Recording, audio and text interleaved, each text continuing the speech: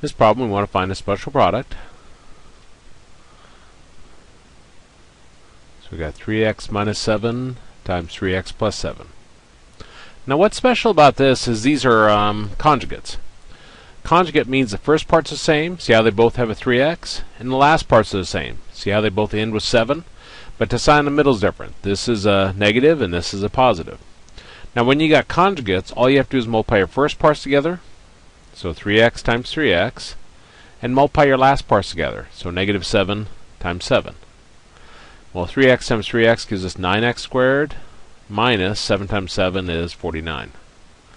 So our answer is 9x squared minus 49.